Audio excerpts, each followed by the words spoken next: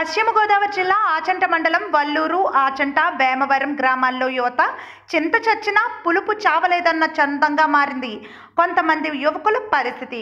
Corona lockdown ఉల్లంఘించి రోడ్లపై తిరుగుతున్న యాభై మంది యువకులతో మళ్ళీ రోడ్లపై తిరగమని చెప్పేంత వరకు గుంజీలు తీయించిన ఆచంట ఎస్ఐ అత్యవసర పరిస్థితుల్లో తప్ప మిగిలిన పరిస్థితుల్లో పోలీసులు తీసుకునే చట్టచర్య బాధ్యతలు వహించాలని ప్రజలందరూ సహకరించి లాక్డౌన్ పాటించి ఇళ్ళలోనే ఉండాలని సబ్ ఇన్స్పెక్టర్ పి రాజశేఖర్ ప్రజలకు విజ్ఞప్తి చేశారు. రోజుకు దిగజారిపోతూనే ఉన్నాయి.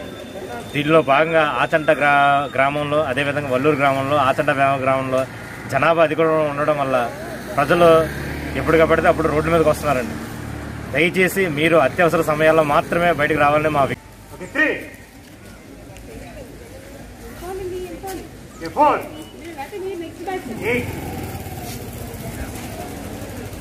nine, ten,